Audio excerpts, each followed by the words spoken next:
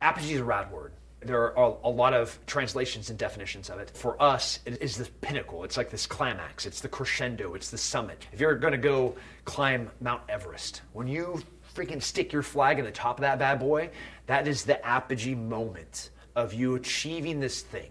If you have been writing this musical piece, dun dun dun dun, that's the apogee, right? That hooked you. You were there. I'm there for the end. I don't need the finished crescendo because in the apogee right there, I'm swept away by the power of it. It is the moment where you take everything on you and you succeeded. So for Apogee School, we kind of have two big efforts. We have the physical school, Apogee Cedar Park, and that is our physical, our heroes showing up every single day, wanting to learn, wanting to create, wanting to collaborate, wanting to imagine. And then you have Apogee Strong.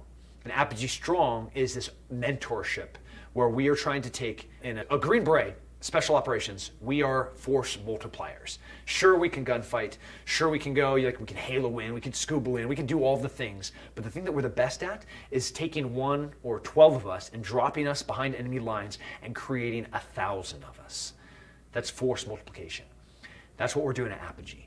We don't own these ideas. Living to a code, that's not new. That's not 2020, like 21st century, 2023. And that is something that people have been living by with purpose.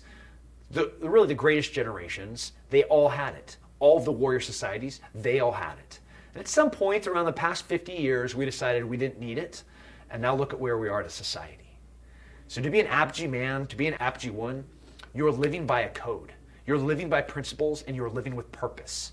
There is no one else to blame besides you the first finger that gets pointed is back at yourself to figure out how do I achieve this? How do I succeed at this? How do I reach that apogee moment?